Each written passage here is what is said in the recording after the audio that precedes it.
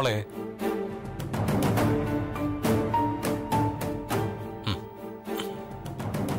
മോൾ എന്തിനാ വിഷമിച്ചിരിക്കുന്നേ?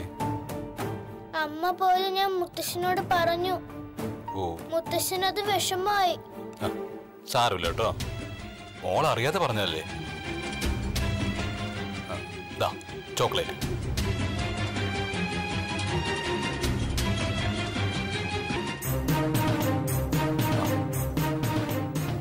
അച്ഛനോട് രോഹിണി പോയ വിവരം മോൾ പറഞ്ഞല്ലേ എന്ത് ചെയ്യാനാ?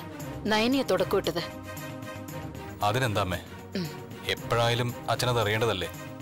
എന്നാലും സാവകാശം പറയാന്ന ഞാൻ കരുതിയത്. വന്ന് കയറിയപ്പോഴേ വിഷമായി സാരമില്ലമ്മേ. ഞാൻ സമാധാനിപ്പിച്ചോളാം. ആരെത്ര ശ്രമിച്ചാലും ആ മനസ്സ് അത്ര പെട്ടെന്നൊന്നും തണുക്കില്ല. അതുകൊണ്ട് ഹോസ്പിറ്റലിൽ തന്നെ കിടന്നാൽ മതിയെന്ന് ആ ജോർജ് ഡോക്ടർ പറഞ്ഞത് അത് മതിയായിരുന്നു. ഇവിടെ വന്നു കഴിഞ്ഞാലും പെട്ടെന്ന് ഹോസ്പിറ്റലിലേക്ക് തന്നെ കൊണ്ടുപോകേണ്ടി വരുമല്ലോ. അച്ഛനെന്ന് വെച്ച ജീവനായിരുന്നു രോഹിണിക്ക്. എന്നിട്ടിപ്പോ ആ മോൾ തന്നെ അച്ഛന്റെ ജീവൻ എടുക്കുക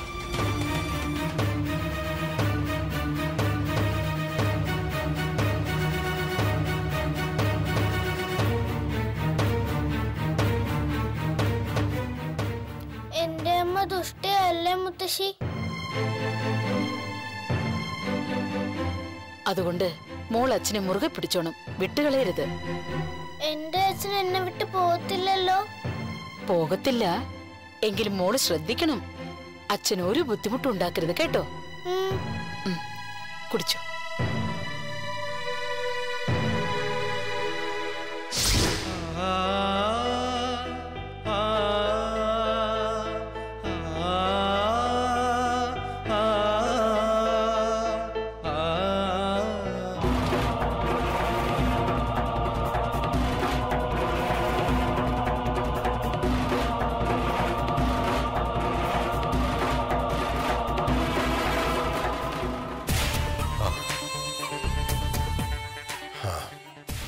അച്ഛനിങ്ങ് വന്നല്ലോ. ആശ്വാസമായി. മിണ്ടാനും പറയാനും ആളില്ലാതെ ഞാൻ ആകെ ബുദ്ധിമുട്ട് വരുന്നു എന്നോട് ആരും ഒന്നും പറഞ്ഞിരുന്നില്ല. ഇവിടെ വന്നപ്പോഴേ അറിഞ്ഞത്. രോഹിണി വീട് വിട്ടുപോയ വിവരം. എന്ത് ചെയ്യാനാ അച്ഛാ? ഞങ്ങൾക്കിടയിൽ ഒരു കുഞ്ഞുണ്ടായിപ്പോയി. അതുകൊണ്ട് ഞാനിനി എല്ലാം ക്ഷമിച്ചേ പറ്റൂ. മോനല്ലാതെ മറ്റേത് ചെറുപ്പക്കാരനായാലും ഇവിടെ എങ്ങനെ പിടിച്ചു നിൽക്കില്ല. മോളെയും കൊണ്ട് ഞാൻ പോയതാ അച്ഛാ. പിന്നെ മാറി താമസിക്കുമ്പോൾ ശരിക്കും ഒറ്റപ്പെടലായിരിക്കും മോൾക്ക്.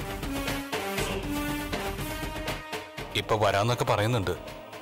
പക്ഷെ വന്നു കഴിഞ്ഞാൽ പിന്നെ ചുറ്റിനും ആൾക്കാരില്ല. ഞാനൊന്ന് പുറത്തേക്ക് പോയി കഴിഞ്ഞാൽ മോൾ ആകെ വിഷമത്തിലാവും. അത് മോളുടെ വളർച്ചയെ പോലും ബാധിക്കും ശരത്തെ. അതുകൊണ്ട് എല്ലാത്തിനും ഒരു നീക്കുപോക്കുണ്ടാകുന്നത് വരെ മോൻ ഇവിടെ നിൽക്കണം. അത് ഈ അച്ഛന്റെ ഒരു അപേക്ഷയാണ്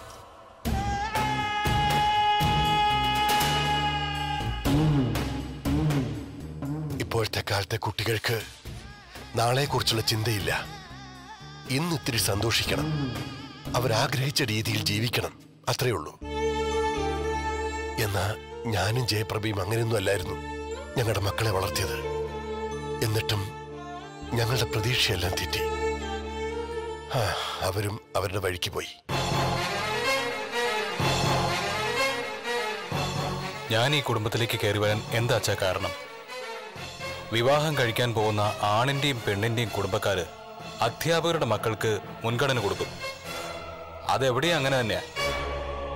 ഇവിടെ അച്ഛൻ പ്രൊഫസർ അമ്മ ലെക്ചറർ അപ്പോഴേ ഉറപ്പിച്ചു. കുടുംബം മോശമാവില്ല എന്ന് വിവാഹം കഴിഞ്ഞ ശേഷം ധാരണ തെറ്റിയില്ലെന്ന് തോന്നിയതുവാ. പിന്നെ അതിന്റെ ഇടയ്ക്കാണല്ലോ ഈ പറയുന്ന ജോസും നരനുമൊക്കെ കയറി വന്നത്. അതോടെ അച്ഛനും അമ്മയും പറഞ്ഞു കൊടുത്ത നല്ല പാഠങ്ങളൊക്കെ അയാളങ്ങ് മറന്നു. സ്വഭാവം മോശമായി.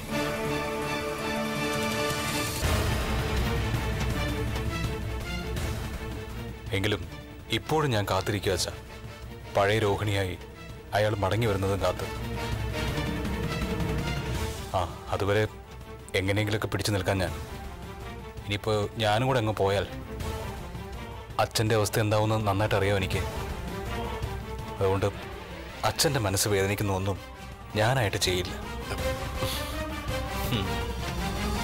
നല്ലത് മാത്രം പറയുകയും പ്രവർത്തിക്കുകയും ചെയ്യുന്ന ഒരു പാവ അമ്മായി അച്ഛൻ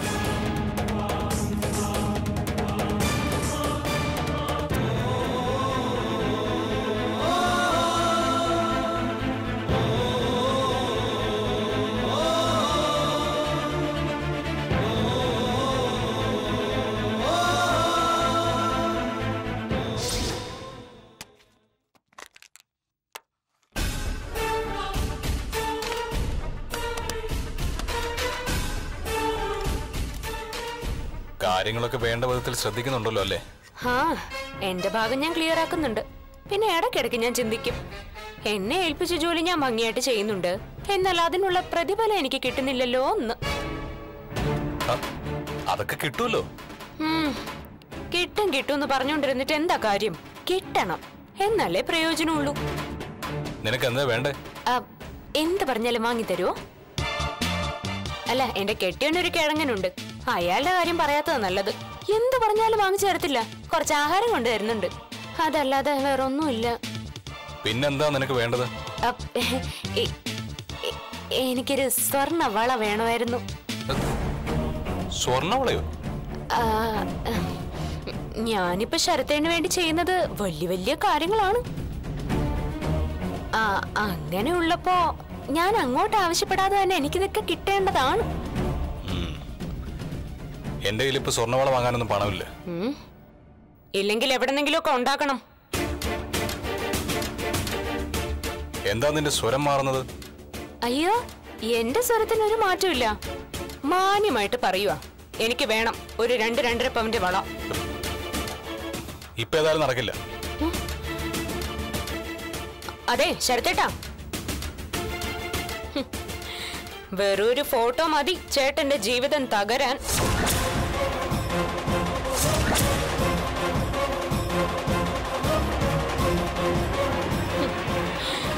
അങ്ങനെ ഉള്ളപ്പോ ഇതൊക്കെ ഒരു ചെറിയ ആവശ്യം. വളരെ ചെറിയ ആവശ്യം. അതെങ്കിലും നടത്തി തന്നൂടെ ചേർത്തേട്ടാ പറ്റില്ല. എന്റെ കയ്യിൽ പണം ഇല്ലാന്ന് പറഞ്ഞല്ലോ. ഇല്ലെങ്കിൽ ഉണ്ടാക്കണം. ശരത്തേണ്ടാണോ പത്തമ്പതിനായിരം രൂപ ഉണ്ടാക്കാൻ വലിയ പാട്? മൂന്ന് ഭാര്യമാരില്ലേ ശരത്തേട്ടാ? അതിന് മൂന്ന് ഭാര്യമാരുണ്ടെന്ന് പറഞ്ഞേ ഉള്ളൂ. രണ്ടെണ്ണം എന്നെ കുത്തുപാളം എടുപ്പിക്കാൻ നടക്കുക അത് നിനക്കറിയാലോ? എങ്കിലും മൂന്നാമത്തേത് നല്ല കാശുകാരിയാണല്ലോ. എന്തായാലും എനിക്ക് കിട്ടേണ്ടത് കിട്ടണ ശരത്തേട്ടാ. നീ എന്നെ ബ്ലാക്ക്മെയിൽ ചെയ്യണോ? എന്ത് കരുതിയാലും ശരി. എന്റെ നിലപാട് ഞാൻ അറിയിച്ചു കഴിഞ്ഞു. എനിക്ക് സ്വർണവള വേണം. അത് കിട്ടിയേ പറ്റൂ. അല്ലെങ്കിൽ ശരത്തേട്ടന്റെ മുന്നോട്ടുള്ള പോക്ക് ബുദ്ധിമുട്ടാകും.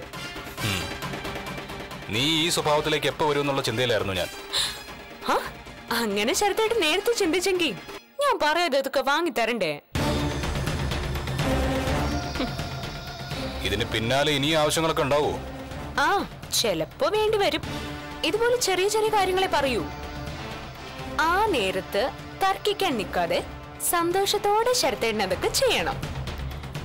അപ്പൊ എന്നെ സഹായിക്കുന്ന ആളിന് വേണ്ടി എന്ത് ത്യാഗം ചെയ്യാനും മനസ്സുകൊണ്ട് ഞാനും തയ്യാറാവും. ശരി. നിന്റെ ഒടുക്കത്തെ ഒരു സ്വർണവള. അയ്യോ ഒടുക്കത്തല്ല ഇത് തുടക്കുക ഇപ്പൊ സ്വർണവള. പിന്നെ മാല കമ്മൽ. അയ്യോ പിന്നെ എന്റെ പാദസരം ഒന്ന് മാറ്റി വാങ്ങണമെന്ന് എത്ര കാലമായിട്ട് ഞാൻ വിചാരിക്കുന്നു. അതറിയോ? ഇല്ല. ആ എന്നാ അറിഞ്ഞോ? കൊറേ കാലമായി. എന്തായാലും ശരത്തേണ്ണ ഇനി പരിഹാരം കാണേണ്ടത്. അയ്യോ അയ്യോ ശരത്തേട്ടാ ശരത്തേട്ടാ സ്വർണവളയും കൊണ്ടേ വരാവേ. അല്ലെങ്കിൽ കയ്യിൽ വളയം വീഴുവേ.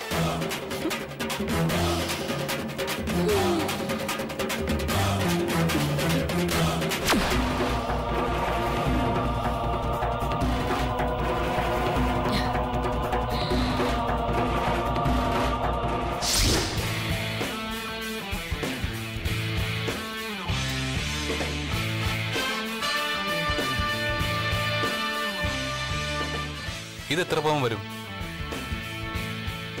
സാർ ഇതൊരു മൂന്നര പവൻ വരും. ഓ അത്രയും വേണ്ട.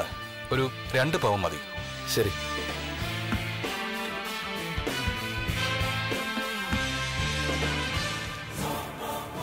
ഇത് നോക്കുന്നു സാർ. പുതിയ ഫാഷനാ. നല്ല വർക്കുള്ളതാ. ഇതൊന്ന് തൂക്കി നോക്കൂ.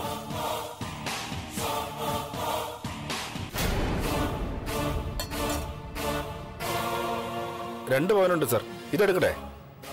ആ അതെടുത്തു. ശരി സാർ.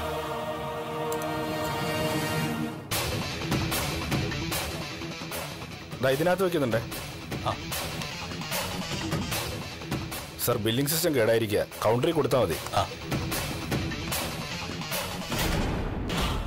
എന്താ സാർ എടുക്കുന്നത് ഒരു കമ്മലിന്റെ കൊളുത്ത് വേണമായിരുന്നു. ആ സെക്ഷനിലോട്ട് പോയാൽ ആ ആ ശരി. ഓക്കെ.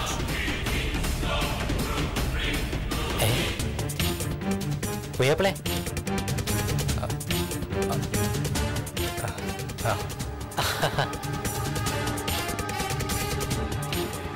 അല്ല പുയ്യപ്പിൾ എന്താ ഇവിടെ? അല്ല അത് പിന്നെ ഒരു സ്വർണവള അത് വാങ്ങാൻ വേണ്ടി. ഓ രഹനയ്ക്കായിരിക്കും അല്ലേ? അതെ. അല്ല പുയ്യാപ്പിളയുടെ കുപ്പായൊക്കെ മാറിയിരിക്കുന്നല്ലോ. അത് വരുന്ന വഴി ഒരു കാർ ചെളുതിരിപ്പിച്ചായിരുന്നു.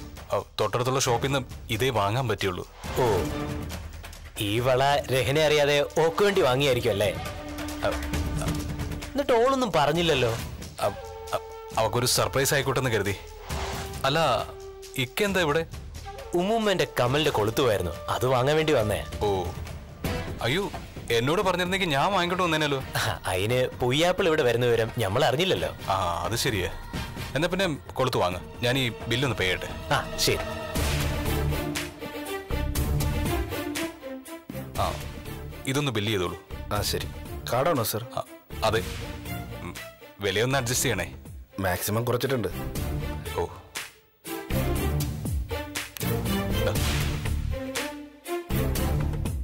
ഇതാ ആ ഇത് ഞാൻ പേ ചെയ്തോളാക്ക എ- എത്രയായി? രണ്ട് ഗ്രാമേ ഉള്ളുവെങ്കിലും അയ്യായിരത്തി എഴുന്നൂറ് രൂപയാന്നാ പറയുന്നത് ഇതുകൂടെ. ഈ നേതാവിനെയാണോ കണി കണ്ടത്? ആശം.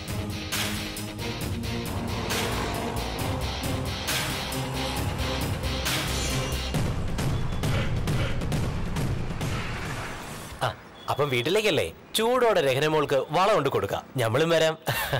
ഞാൻ പിടിച്ചോളാം. പുയ്യപ്പള വണ്ടി എടുക്ക്. ഭഗവാനെ വലിച്ച്. നയനോട് ഇനി എന്ത് പറയുന്നുണ്ടോ ഈ നാശത്തിന് എവിടെ നിന്ന് കെട്ടിയെടുത്തു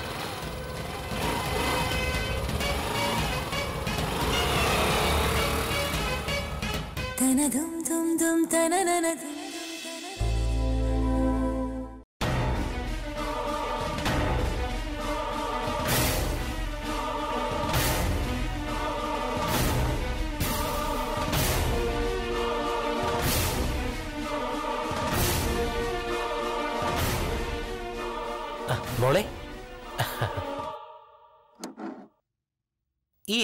ഏതേരം വിഷമിച്ചിരിക്കുകയല്ലേ? അതുകൊണ്ടായിരിക്കും ഷാജഹാൻ എന്റെ പിണക്കൊക്കെ മാറ്റണമെന്ന് തോന്നിയത്.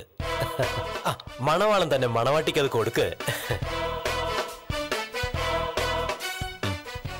മേടിക്കുമ്പോളെ രണ്ട് പോയിന്റ് സ്വർണവളയാ.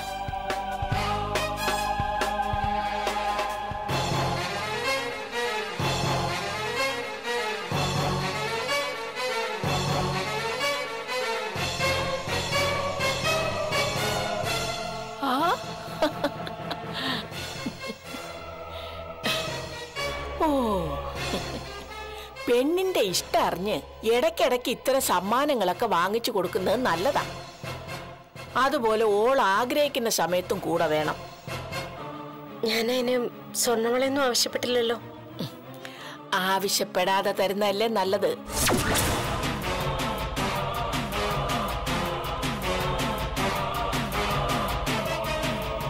ദാ ഉമ്മുമ്മന്റെ കമ്മലിന്റെ കൊളുത്ത് പിടി.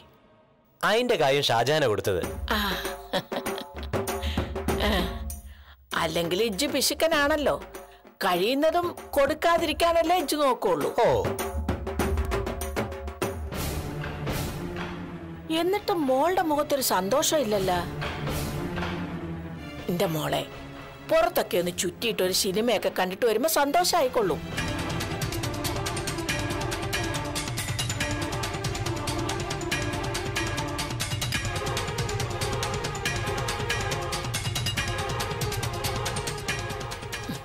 മോൻ വിഷമിക്കണ്ട. ഓക്കെന്തോ ഉള്ളി കയറിയിട്ടുണ്ട്. അതിന്റെ ഒരു നീരശ സാരമില്ല ഉമ്മമ്മ. ഓൾക്കത്ര പ്രായമൊന്നുമില്ലല്ലോ. വലിയ പെണ്ണാണെന്ന് തോന്നിക്കുമെങ്കിലും ഉമ്മമ്മന്റെ ഇളയ കുട്ടി തന്നെ ഓൾ. അതിൽ നിന്ന് വലിയ മാറ്റമൊന്നുമില്ല. ഓക്ക് സന്തോഷമായി കാണും. മോൻ ചെല്ലേ. സ്വർണം കിട്ടിയാൽ സന്തോഷിക്കാത്ത പെൺകുട്ടികളുണ്ടാവൂ.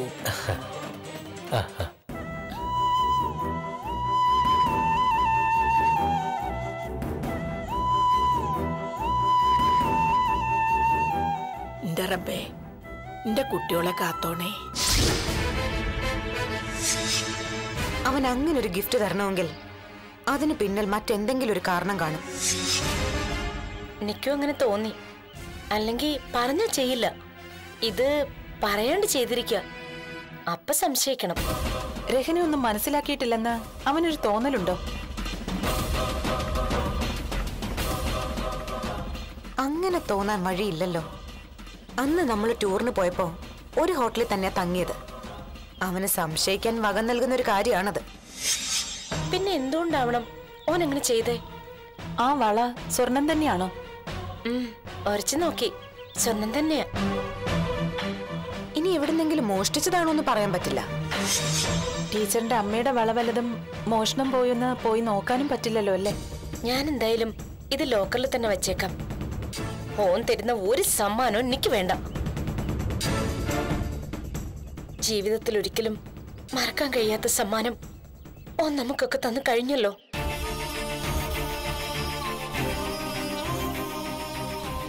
മലപ്പുറത്തേക്ക് പോവാൻ വേണ്ടി ഇടയ്ക്കിടയ്ക്ക് സമ്മർദ്ദം ചെലുത്തുന്നുണ്ട്. പോവില്ല ഞാൻ. അവന്റെ കണ്ണീര് കാണാതെ പോകരുത് രഹന. അവന്റെ ശരീരം തളർന്നു കിടക്കുന്ന കാഴ്ച എപ്പോഴും നമ്മുടെ മനസ്സിലുണ്ടാവണം.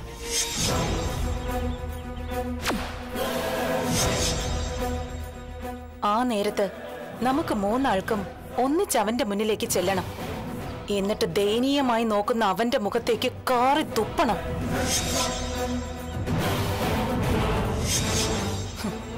അവിടെ എഴുന്നേൽക്കുമ്പോ അവൻ പിന്നെ ജയിലിലേക്കും. അങ്ങനെ വേണം കാര്യങ്ങൾ പോവാൻ. എല്ലാരും എല്ലാം അറിയട്ടെ? ഉമ്മമ്മയുടെ മർമ്മം നോക്കിയുള്ള ഒരു കുത്തിന് ഓ കോമയാവും. എനിക്കെന്റെ കുഞ്ഞിനെ കാണാൻ പറ്റുന്നില്ല. അതിലേ ഉള്ളു സങ്കടം. കുഞ്ഞൊക്കെ അരികിൽ വരും ടീച്ചറെ. ജോസാറിനോടൊപ്പം ടീച്ചറിനൊരു ജീവിതം ഉണ്ടാവും. ഈ കഥയുടെ ക്ലൈമാക്സ് അങ്ങനെ തന്നെ ആയിരിക്കും. അങ്ങനൊരു അവസാനമല്ല ഞാൻ കാണുന്നത്. എനിക്കൊപ്പം നിങ്ങൾക്കും ഒരു ജീവിതം ഉണ്ടാവണം. നല്ലൊരു കുടുംബജീവിതം. വേണ്ട ചേച്ചി. മടുത്തു എനിക്ക് ജീവിതം. ആണുങ്ങളെയൊക്കെ എനിക്ക് പേടിയാ. ഒറ്റ ഒരെണ്ണത്തിന് വിശ്വസിക്കാൻ പറ്റൂല.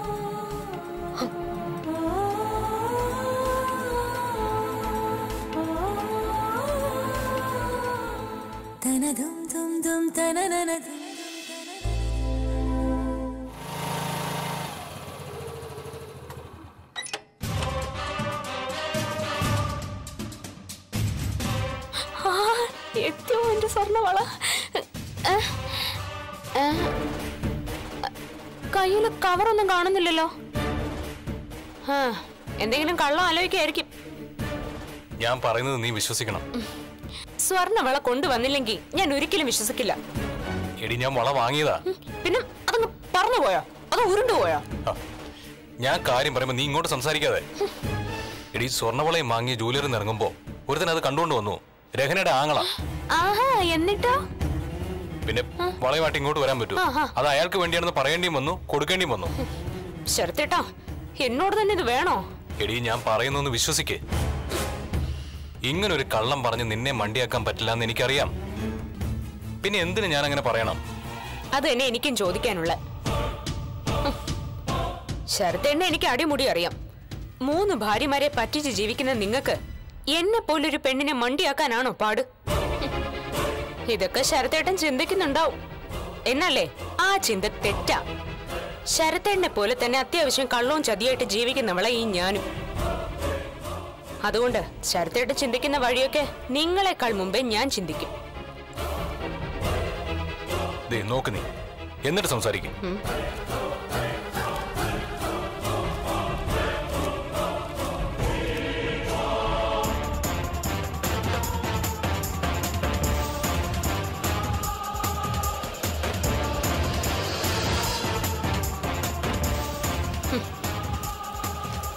നീ രണ്ടര പറഞ്ഞെങ്കിലും രണ്ട് പവന്റെ വളയായിരുന്നു. പണിക്കൂലി ഉൾപ്പെടെ നാൽപ്പത്തെണ്ണായിരം രൂപ. നല്ല ഭംഗിയുള്ള വളയായിരുന്നു. ഇനി സംശയം ഉണ്ടെങ്കിൽ ബില്ലിൽ കടയുടെ പേരുണ്ടല്ലോ. പോയി ചോദിക്കും. എന്നിട്ടും സംശയം തീരുന്നില്ലെങ്കിൽ ഞാൻ അവിടെ ചെന്നോ ഇല്ലയോ എന്ന് സി സി ടി വിയിൽ ഉണ്ടാവും. എന്റെ അമ്മയാണ് സത്യം. ഞാൻ നിനക്ക് വള വാങ്ങിയതാ. ഒരു സംശയം. ശരത്തേട്ടന് അമ്മയുണ്ടോ?